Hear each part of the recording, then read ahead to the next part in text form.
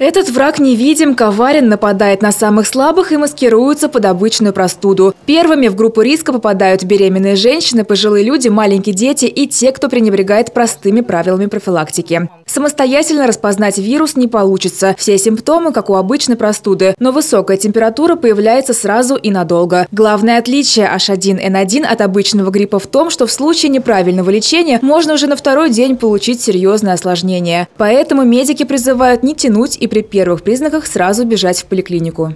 Раннее обращение к врачу, уточнение диагноза, лечение своевременно эффективными препаратами. Повторяю, раннее обращение и назначение ранних э, высокоэффективных препаратов в ранние сроки болезни. Это одна из существенных мер профилактики возможных осложнений, которые могут быть в первую очередь у пациентов ослабленных.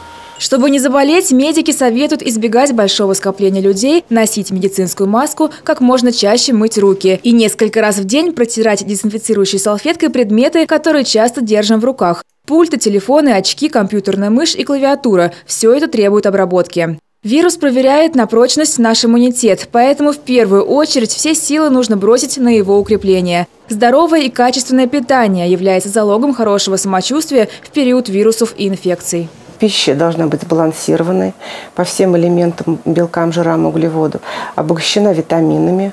Прием природных фитонцидов также поможет повысить защитные силы организма. Это и клюква, и капуста, и лук, чеснок дополнительные витамины. Об эпидемии гриппа в регионе речь пока не идет. Количество заболевших увеличилось, но пик заболеваний, как говорят специалисты, придется на конец января и февраль. Заболеваемость гриппом и ОРВИ в Рязани на сегодняшний день выше эпидемического порога на 7%.